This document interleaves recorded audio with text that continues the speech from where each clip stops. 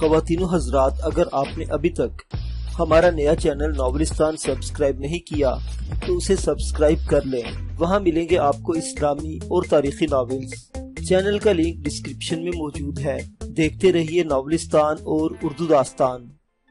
غنی صاحب اٹھے اور اپنے چہرے پر الجھن لیے کمرے سے باہر نکل گئے۔ میں وہیں بیٹھا رہا۔ مجھے یقین تھا کہ جلد ہی انہیں بھی سلطانہ کی مخبوط الحواسی کا علم ہو جائے گا۔ میرے سر میں ٹیسیں اٹھ رہی تھی، پٹی بدلے جانے کی ضرورت تھی۔ میں دیوار سے ٹیک لگا کر بیٹھ گیا تھا اور یقین کرنے کی کوشش کرنے لگا کہ میں اپنے ملک میں نہیں، غیر ملک میں ہوں۔ فرا عاطف اور اپنی ماں کی قبر سے سینکڑوں میل دور۔ پتہ نہیں کہ میری ماں کو باقاعدہ قبر بھی نصیب ہوئی تھی یا نہیں۔ ان کی موت کو چھپا لینا سیٹ سراج اور شیر وغیرہ کے لیے بہت آسان تھا۔ وہ اس چار دیواری میں پوری طرح حاوی ہو گئے تھے۔ انہوں نے گارڈ خادم حسین کو مار دیا تھا۔ عمران کا دوست آصف بھی غالباً ان کے ہاتھوں سے جان گوا بیٹھا تھا۔ سیٹ سراج وغیرہ کے لیے ممکن تھا کہ وہ جی کی موت کو کوئی اور رنگ دے دیتے یا پھر ان کے جستے خاکی کو ویسے ہی کہیں غائب کر دیتے۔ میں جب ان سارے خونی مناظر کے بارے میں سوچنے لگتا تو مجھے یہ کوئی سات، آٹھ یا دس، پندرہ روز پہلے کی باتیں نہیں ہیں، بلکہ ان کو زمانہ گزر چکا ہے۔ اچانک مجھے قدموں کی آہٹ سنائی دی۔ غنی صاحب واپس آ گئے۔ ان کے چہرے پر پہلے سے زیادہ الجھن تھی۔ انہوں نے کمرے کا دروازہ ہولے سے بند کیا اور مدھم لہچے میں بولے، بچے نے پوٹی کی ہے۔ لڑکی اس کی ٹانگیں وغیرہ دھو رہی ہے۔ میں نے گنگے سے علیحدہ بات کرنے کی کوشش کی ہے۔ وہ پتہ نہیں کیا کیا اشارے کر رہا ہے۔ صحیح طرح میرے پلے تو کچھ نہیں پڑا۔ کسی وقت لگتا ہے کہ وہ لڑکی کی طرف کی بات کر رہا ہے۔ آپ اسے یہاں لائیں میرے پاس۔ نہیں، اس سے کوئی فائدہ نہیں ہوئے گا۔ میں چوہان کو لے کر آتا ہوں۔ وہ بھی زرگاں سے آیا ہے۔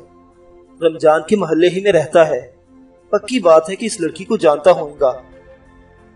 اس سے پہلے کہ میں کچھ کہتا عبد الغنی صاحب تیزی سے باہر نکل گئے۔ ان کے جانے کے چند سیکنڈ بعد سلطانہ آدم کی وہ خوش نظر آ رہی تھی۔ اس نے میرے قریب بیٹھ کر جوسیلے انداز میں میرا ہاتھ دبایا اور بولی، محروم، بالکل بے فکر ہو جاؤ۔ اب کوئی ہمارا کچھ نہیں بگاڑ سکے گا۔ ہم کل اس چھوٹے سرکار سے ملیں گے وہ سب کچھ سنبھال لیں گے۔ وہ ہم پر کوئی آنچ نہیں آنے دیں گے۔ اس نے بڑی محبت سے اپنا سر میرے کندھے سے ٹکا دیا۔ پھر جیسے اسے ایک دم یاد آیا، ہائے، میں مری۔ میں نے تمہاری چوٹ تو دیکھی اچ نہیں۔ اب کیا حال ہے درد کا؟ میرے جواب دینے سے پہلے ہی وہ جلدی جلدی پٹی کھولنے لگی۔ وہ اپنے جھولے میں سے صاف روئی اور مرہم لے کر آئی۔ ہاشو سے اس نے نیم گرم پانی منگوایا اور بڑی توجہ سے میرے سر کے زخم کو صاف کرنے میں مصروف ہو گئی۔ اس کی انگلیوں کے لمس میں انتہا درجے کی محبت آمیز ملائمت تھی۔ اس کے ساتھ وہ خاص قسم کی ضرورت بھی اس کے انداز میں موجود تھی۔ جو سنگین چوٹوں کی مرہم پٹی کے لیے درکار ہوتی ہے۔ ایسی ضرورت عام طور پر لڑکیوں میں نہیں پائی جاتی۔ یوں لگ رہا تھا کہ محروز نام کا کوئی شخص واقعی موجود تھا اور وہ سلطانہ کا شوہر تھا۔ اب اس شخص کے ساتھ پتہ نہیں کیا ہوا تھا کہ وہ یہاں اپنی بیوی اور بچے کے ساتھ موجود نہیں تھا۔ شاید کوئی المناک حادثہ، کوئی سنگین جرم، کوئی خونی واردات۔ این ممکن تھا کہ جو کچھ پیش آیا، وہ زرگاہ سے نل پانی تک کے راستے ہی میں پیش آیا ہو اور اس واقعی کے بعد سلطانہ ہوش و آواز کھو دیے ہوں۔ غالب امکان یہی تھا کہ ایسا ہی ہوا ہے۔ کیونکہ غنی صاحب کو آٹھ دن پہلے اپنے دوست رمضان کا پیغام ملا تھا اور اس نے کہا تھا کہ لڑکی اپنے شوہر اور بچے کے ساتھ ان کے پاس آ رہی ہے۔ ایسے کیا دیکھ رہے ہو میری طرف؟ وہ پٹی کرتے کرتے ذرا شرمیلے انداز میں بولی، کچھ نہیں۔ جب تم کہتے ہو کہ کچھ نہیں، تو اس کا مطلب ہے کچھ ہے۔ وہ پٹی کو آخری گرا لگا کر میرے بازو سے لگ گئی اور میری بڑی ہوئی شیپ پر ہاتھ پھیرنے لگی۔ داڑھی بنا دوں؟ اس نے پوچھا، کیا اتنا حیران کیوں ہو رہے ہو؟ پہلے کبھی نہیں بنائی میں نے۔ شاید تم بھول گئے۔ شروع شروع میں میں تو تمہیں نہلا بھی دیا کرتی تھی۔ وہ کہہ کر شرما گئی۔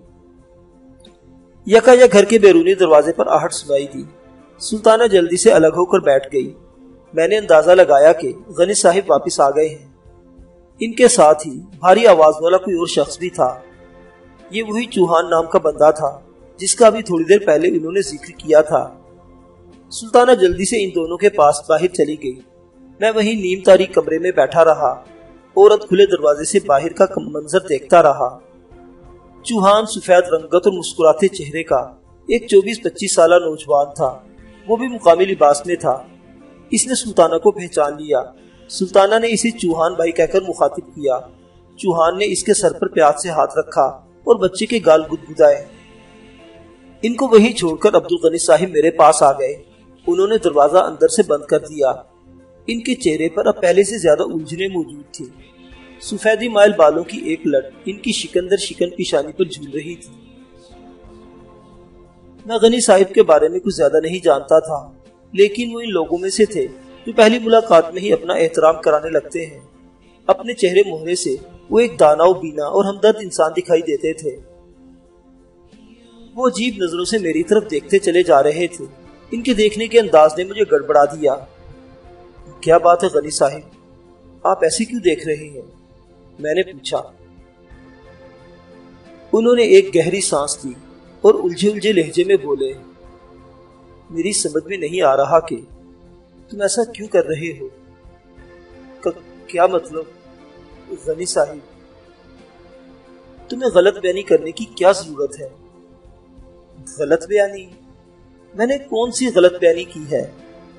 میں ششدر تھا۔ تم اچھی طرح جانتے ہو۔ وہ گمبھیر آواز میں بولے، آپ کھل کر بات کریں۔ سلطانہ تمہاری بیوی ہے اور تم اس سے انکار کر رہے ہو۔ بالو بھی تمہارا بچہ ہے۔ میں پورے یقین کے ساتھ کہہ سکتا ہوں۔ غنی صاحب کا لہجہ حتمی تھا۔ میں نے ایک بار پھر ماتھا پکڑ لیا۔ مجھے لگا جیسے میں دیوانوں کے کسی گروہ میں گھر گیا ہوں اور اپنی شناخت کھو بیٹھا ہوں۔ غنی صاحب نے نرمی سے میرے کندھے پر ہاتھ رکھا اور بولے، دیکھو برخودار اگر تمہارے ساتھ کوئی مسئلہ ہے تو مجھے بتاؤ۔ میں ہر طرح تمہاری مدد کرنے کے لیے تیار ہوں، لیکن اس طرح خدا کے لیے چپ ہو جائے میرا دماغ پھٹ جائے گا۔ میں نے اپنا سر گھٹنوں میں جھکا لیا اور اپنے آپ میں سمٹتا چلا گیا۔ یہ دیکھو، یہ کیا ہے؟ کیا تم اسے بھی انکار کرو گے؟ غنی صاحب کی آواز میری سماج سے ٹکرائی۔ میں نے سر اٹھا کر دیکھا، ان کے ہاتھوں میں ایک تصویر تھی۔ میں نے دھندلائی ہوئی نظروں سے تصویر دیکھی۔ یہ ایک گروپ فوٹو تھا۔ اس میں کئی مرد و زن تھے۔ دو چار بچے بھی نظر آ رہے تھے۔ یہ سب لوگ مقامی دیہاتی لباس میں تھے۔ ایک سات آٹھ سالہ بچہ دلہے کے لباس میں تھا۔ اس نے سہرے میں سے اپنا چہرہ نکالا ہوا تھا۔ مجھے لگا کہ میرے ارد گرد کی ہر شے گھومنے لگی۔ غنی صاحب کا چہرہ، ان کی کالی چھتری، رنگین نقش و نگار والی دیواریں، چٹائی کے پھول بوٹے، سب کچھ میری نظروں میں گھومنے لگا۔ میں حیرت کے سمندر میں غرق تصویر کو دیکھ رہا تھا۔ اس گروپ فوٹو میں ایک طرف میں خود بھی موجود تھا۔ میرے ہاتھوں میں ایک نومولود بچہ تھا۔ شاید چند ہفتے کا ہوگا۔ غالباً یہ بالو تھا۔ سلطانہ نے میرا بازو تھام رکھا تھا۔ اور میرے کندھے سے چپکی ہوئی تھی۔ ہم دونوں کے چہرے پر ہلکی سی مسکراہٹ تھی۔ مجھے لگا کہ میں بے ہوش ہو جاؤں گا۔ میں نے تصویر پھینک دی۔ اپنا سر عقب سے ہاتھوں میں جکڑ لیا اور اپنے چہرے کو اوپر اٹھتے ہوئے گھٹنوں میں دھنسناتا چلا گیا۔ یہ کیا ہو رہا تھا میرے ساتھ؟ میں کہاں پھنس گیا تھا؟ کیا میں ڈیفنس والی کوٹھی میں بارہ تیرہ زینوں کے اوپر سے پرواز کر کے پختہ فرش پر گرنے کے بعد ابھی تک بے ہوش تھا اور جو کچھ دیکھ رہا تھا، بے ہوشی کے عالم میں دیکھ رہا تھا۔ میں کیسے یقین کر سکتا تھا؟ میں ایسی باتوں پر کیسے یقین کر سکتا تھا؟ میں نے زندگی میں ٹھوس حقیقتوں کے سوا کسی چیز کو قبول نہیں کیا تھا۔ یہ میری فطرت میں نہیں تھا۔ اچانک مجھے احساس ہوا کہ میرے ہاتھ میری گردن کے پچھلے حصے پر رکھے ہیں اور وہاں مطلق درد نہیں ہو رہا۔ لگتا تھا کہ وہ زخم بالکل مندمل ہو چکا ہے۔ جو بتی والے چوک میں گاڑی کے الٹنے سے میری گردن پر آیا تھا اور جس نے رشید اور تبیدہ کے گھر میں مجھے سخت تکلیف میں رکھا تھا۔ ایک بار پھر میرے جسم میں سرد پھریریاں سی دوڑ گئی کیا واقعی یہ زخم مندمل ہو چکا تھا؟ میں نے دیوانوں کی طرح اس زخم پر ہاتھ چلایا۔ کوئی تکلیف نہیں تھی۔ کوئی خرون نہیں تھا۔ بالکل ملائم چیل تھی۔ پھر اچانک مجھے یاد آیا کہ اسی ایکسیڈنٹ میں میری دہنی کونی بھی تو زخمی ہوئی تھی۔ گاڑی کی کوئی نکیلی شہ لگنے سے دو تین انچ لمبا زخم بن گیا تھا۔ میں نے تڑپ کر اپنا بازو موڑا اور سر گما کر کوہنی کو دیکھا۔ مجھے لگے کہ رہے سہے اوسان بھی جاتے رہے۔ کونی پر زخم کا بس بالکل مدھم سا نشان موجود تھا۔ جو لگتا تھا کہ یہ چوٹ عرصہ پہلے ٹھیک ہو چکی تھی۔ او خدایا او خدایا، یہ میرے ساتھ کیا ہو رہا ہے؟ میرے ہونٹوں سے بے ساختہ نکلا۔ غنی صاحب نے ایک بار پھر ملائم لہجے میں کہا، سنو مہروج، اگر کوئی مسئلہ ہے تو مجھے بتاؤ، لیکن اس طرح کی بات نہ کرو، ان سے کچھ حاصل نہیں ہونے والا۔ کوئی مسئلہ نہیں ہے، میرا کوئی مسئلہ نہیں ہے۔ میں نے اپنا سر بدستور ہاتھوں میں دبائے رکھا۔ میرا دماغ در سے پھٹا جا رہا تھا۔ میں تھوڑی دیر آرام کرنا چاہتا ہوں۔ اگر ہو سکے تو مجھے ایک آدھ گھنٹے کے لیے اکیلا چھوڑ دو۔ میرا اپنا بھی خیال یہی ہے کہ تمہیں آرام کی ضرورت ہے۔ چلو میں دروازہ بند کر دیتا ہوں۔ تم کچھ دیر کے لیے لیٹ جاؤ۔ غنی صاحب نے کہا، ان کا متین چہرہ بدستور الجھنوں کی اماج کا بنا ہوا تھا۔ وہ مجھے ہمدردی سے دیکھتے ہوئے باہر نکل گئے۔ شاید وہ میری ذہنی صحت پر شک کرنے لگے تھے۔ این ممکن تھا کہ ان کا دھیان میرے سر کی شدید چوٹ کی طرف جا رہا ہو اور وہ خیال کر رہے ہوں کہ اس چوٹ کی وجہ سے میرے حواس وقتی طور پر مختل ہو گئے ہیں۔ دروازہ بند ہوا تو کمرے میں نیم تاریخی چھا گئی۔ میں بے قراری سے کمرے میں ٹہلنے لگا۔ میری نگاہ بار بار اپنی کوہنے کی چوٹ پر پڑ رہی تھی۔ ہاں یہی چوٹ تھی۔ اس میں شک کی کوئی گنجائش ہی نہیں تھی۔ اور یہ چوٹ بالکل مندمل ہو چکی تھی۔ شاید ایک ڈیڑھ سال پہلے یا اس سے بھی زیادہ عرصہ گزر چکا تھا۔ اچانک میری نظر کمرے میں لگے ایک چھوٹے سے گول آئینے پر پڑی۔ یہ آئینہ کھڑکی کے پاس ہی دیوار پر آویزا تھا۔ میں نے روشنی کے لیے کھڑکی ذرا سی کھولی اور آئینے کے سامنے جا کھڑا ہوا۔ یہ ایک اور ذہنی جھٹکا تھا جو مجھے برداشت کرنا پڑا۔ مجھے اپنی شکل بالکل اجنبی لگ رہی تھی۔ بے شک یہ میرا ہی چہرہ تھا۔ تاہم مجھے محسوس ہو رہا تھا کہ میں اس چہرے کو مدتوں بعد دیکھ رہا ہوں۔ رنگ کچھ سنبھلا گیا تھا۔ رخساروں کی ہڈیاں قدرے ابھی ہوئی تھی آنکھوں کے نیچے ہلکے سے ابھار کچھ ضرور ہوا تھا۔ میرے ساتھ کچھ انوکھا اور غیر معمولی۔ میرا دل و دماغ اب پوری طاقت سے گواہی دے رہا تھا کہ ڈیفینس لاہور میں پیش آنے والے خونی واقعات کو دو تین ہفتے نہیں گزرے۔ نہ ہی دو تین مہینے گزرے ہیں۔ انہیں ایک طویل عرصہ گزر چکا ہے۔ ان واقعات میں اور یہاں اس جنگل میں پیش آنے والے واقعات کے درمیان ایک ایسا خلا جس کی طوالت اور گہرائی نامعلوم ہے، وہ خلا کیسے پیدا ہوا؟ اس خلا نے مجھے کیسے متاثر کیا؟ متاثر ہونے کے بعد میں کیا کرتا رہا؟ مجھے کچھ خبر نہیں تھی۔ ایک میرے دل پر ایک زوردار گھونسا لگا۔ اگر واقعی یہ خلا موجود تھا، تو پھر میرے پیارے کہاں تھے؟ ان پر کیا بیتی تھی؟ فراہ، عاطف اور سرود۔ سرود کی شبی نگاہوں میں گھومے اور سینے میں دھماکے سے ایک بڑا علو دہک گیا۔ میں تو سرود کے پاس جانا چاہ رہا تھا۔ اس کو حالات کی زنجیروں سے آزاد کرانا چاہ رہا تھا۔ مجھے جرمنی جانا تھا۔ میرا پاسپورٹ بن چکا تھا۔ ویزا لگنے والا تھا۔ میں دن نہیں گھڑیاں گر رہا تھا۔ گھنٹے شمار کر رہا تھا۔ او خدایا، یہ کیا ہو گیا؟ کہیں میں جاگتی آنکھوں سے کوئی خواب تو نہیں دیکھ رہا؟ ایک دم میرے اندر کی بے قراری انتہا کو پہنچ گئی۔ میں نے بے پناہ کرب کے ساتھ سوچا، کیا واقعی بہت تاخیر ہو چکی ہے؟ کیا واقعی میں اپنی سروت کو ہمیشہ کے لیے کھو چکا ہوں؟ میں نے ایک بار پھر دیوانوں کی طرف اپنی کوہنی پر زخم کے پرانے نشان کو ٹٹولا۔ آئینے میں اپنا چہرہ دیکھا۔ مجھے محسوس ہوا کہ اس کمرے میں میرا دم گھٹ رہا ہے۔ میں مرنے والا ہوں۔ میری نگاہوں میں سروت فرا اور عاطف کی صورتیں گھومنے لگی میں نے کمرے کا آخری دروازہ کھولا اور باہر نکل آیا۔ میں گلی میں کھڑا تھا۔ میں بھاگنے لگا۔ بھاگتا چلا گیا۔ لوگ مڑ مڑ کر میری طرف دیکھ رہے تھے۔ ان میں عورتیں بھی تھی جنہوں نے ساڑیوں کے علاوہ چولیاں گھاگرے پہن رکھے تھے اور سامنے رنگ والے مرد بھی اور ننگ بچے بھی۔ میں اس مسافر کی طرح بھاگ رہا تھا، جو پلیٹ فارم پر اتر کر ذرا دیر کے لیے غافل ہوا ہو اور اس کی گاڑی اس کے سارے مالو اسباب سمیت آگے نکل گئی ہو۔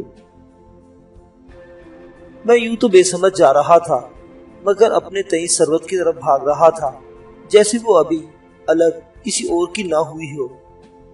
جیسے ابھی تک میری محبت کے تابوت میں آخری کیل ٹھوکی جانی باقی ہو، وہ سرخ عروسی جوڑا پہنے بیٹھی ہو۔ ابھی قبول و ایجاب کے مراحل طے ہونا باقی ہو مجھے لگتا تھا کہ میں بھاگتا ہوا اس کے پاس پہنچ جاؤں گا۔ پکار کر کہوں گا، میں آ گیا ہوں سرود۔ اب اپنے اقرار کو اپنے ہونٹوں کے اندر روک لو۔ یہ اقرار صرف میرے لیے ہے، لہذا یہ شادی انجام نہیں پا سکتی۔ یہ محفل برخاست کرنا ہوگی۔ ایک نئی محفل سجانا ہوگی، جہاں سچا اقرار ہوگا۔ جہاں سچی محبت کے سدا بہار پھول کھلیں گے۔ میں بھاگ رہا تھا۔ میری سانس دھونکی کی طرح چل رہی تھی۔ ارد گرد کے مناظر میری نگاہوں میں دھندلائے ہوئے تھے۔ مجھے محسوس ہوتا تھا کہ میں نے درجنوں سکون بخش گولیاں ایک ساتھ نگل لی ہیں۔ اور اب میں دوڑنے کی بجائے ہوا کی سمندر میں تیر رہا ہوں۔ اب میرے ارد گرد سرسبز ڈھلوان تھی یہاں گھنے درخت کے۔ ان درختوں میں کہیں کہیں بکریاں چرتی نظر آ رہی تھی میں ایک جگہ بے دم ہو کر بیٹھ گیا۔ میں ضعیف العقیدہ نہیں تھا۔ مجھ میں بے شمار خامیاں تھی مگر توہم پرستی اور فطرت سے غماز کرنے والی کمزوریاں نہیں تھی میں نے ہمیشہ ٹھوس حقائق پر یقین رکھا تھا۔ اور یہی وجہ تھی کہ اب میرا دماغ شدید ترین تناؤ کے سبب پھٹ رہا تھا۔ میری جگہ کوئی اور ہوتا تو ان حالات کے ڈانڈے فوراً ماورا سے جوڑنے لگ جاتا۔ جادو، ٹونا سہر جن بھوت، آسیب حمزاد اور اس طرح کے نہ جانے کون کون سے تصورات اس کی سوچوں کو جکڑ لیتے اور شاید وہ کسی حد تک سکون بخش بھی ہو جاتا۔ مگر میں وجہ تلاش کر رہا تھا، منطق ڈھونڈ رہا تھا۔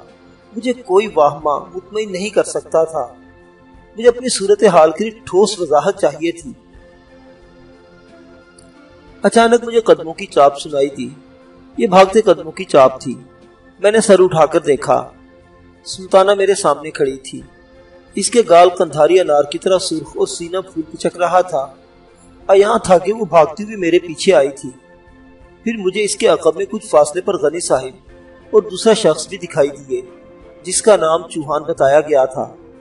سلطانہ نے آتے ساتھ میرے دونوں کندھے تھام کر مجھے اپنے ساتھ لگا لیا اور سسک کر بولی، تمہیں کیا ہو گیا محروم ایسا کیوں کر رہے ہو تم؟ کیا میری جان لینا چاہتے ہو تم؟ تمہیں پتہ اچ ہے، تمہاری تکلیف دیکھ کر مجھ پر کیا گزرتی ہے. اسی دوران میں غنی صاحب اور چوہان بھی میرے پاس آ گئے۔ چوہان نے بڑی ہمدردی سے میرے کندھے پر ہاتھ رکھا۔ تمہیں کیا ہو گیا ہے محروم ہوش کرو یار نہیں تو بڑا نقصان ہو جائے گا۔ مجھے اکیلا چھوڑ دو تم لوگ، میرا دماغ پھٹ جائے گا۔ میں نے کراہتے ہوئے کہا، سلطانہ نے ایک بار پھر مجھے اپنے ساتھ لگا لیا۔ میں نے اسے جھٹک کر پیچھے ہٹا دیا۔ غنی صاحب اور چوہان آپس میں خسر خسر کر رہے تھے۔